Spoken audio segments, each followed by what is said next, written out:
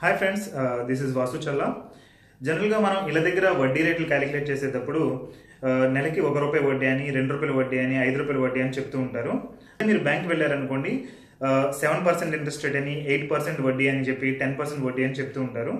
So ఈ interest రేట్స్ని బ్యాంకులు చెప్పే ఇంట్రెస్ట్ రేట్స్ని మీరు నెలవారీకి ఎలా కన్వర్ట్ చేసుకోవాలనేది నేను మీకు ఇప్పుడు ఎక్స్ప్లెయిన్ చేయబోతున్నాను. ఇది చాలా బేసిక్ లెవెల్ ఫార్ములా బట్ ఏంటంటే చాలామంది దీని విషయంలో క్యాలిక్యులేషన్ విషయంలో కన్ఫ్యూజ్ అవుతూ ఉంటారు.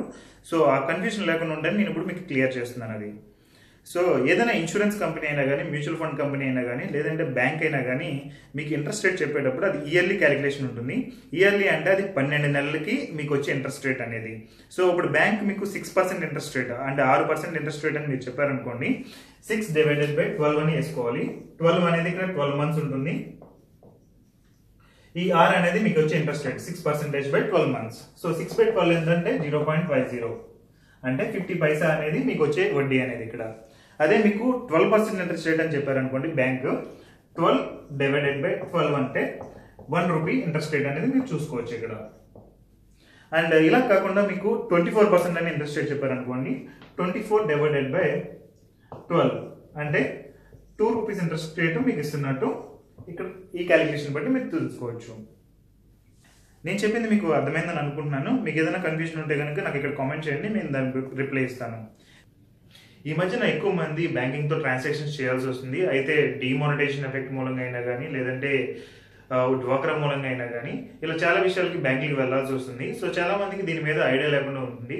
సో ఈ వీడియో అనేది ఎక్కువగా ఫైనాన్స్ మీద నాలెడ్జ్ లేని వాళ్ళకి యూజ్ అవుతుంది. Please share this video. నేను నాలుగు సంవత్సరాల నుంచి ఈ ఫైనాన్షియల్ సర్వీస్ ఇండస్ట్రీలో ఉన్నాను. మిడిల్ క్లాస్ పీపుల్ మిడిల్ క్లాస్లో ఉండిపోవడానికి మేజర్ రీజన్ ఏంటంటే వాళ్ళకి ఫైనాన్షియల్ సంబంధించిన నాలెడ్జ్ అనేది లేకపోవడం. సో ఈ నాలెడ్జ్ అనేది ఇంప్రూవ్ చేయడానికి ఈ వీడియోస్ చేస్తున్నాను. దీని ద్వారా మీరు నాలెడ్జ్ అనేది ఇంప్రూవ్ చేసుకోవచ్చు. బెటర్ ఫైనాన్షియల్ డిసిషన్స్ అనేది మీరు తీసుకోవచ్చు. ఇంతే కాకుండా నేను కొన్ని రోజుల్లో ఒక కంపెనీ స్టార్ట్ చేయబోతున్నాను.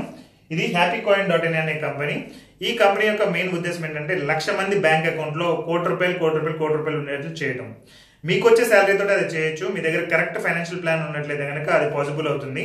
మీకు వచ్చే జీతం పదిహేను వేలైనా ఇరవై వేలైనా కానీ ఇది పాసిబుల్ అవుతుంది. దీనికి సంబంధించిన కంప్లీట్ ఇన్ఫర్మేషన్ కోసం ఈ హ్యాపీ కాయిన్ డాట్ ఇన్ అనే వెబ్సైట్ని విజిట్ చేయొచ్చు. ఈ వెబ్సైట్ ఫిఫ్టీన్త్ సెప్టెంబర్ రెండు వేల పదిహేడు నుంచి వర్క్ అవడం స్టార్ట్ అవుతుంది.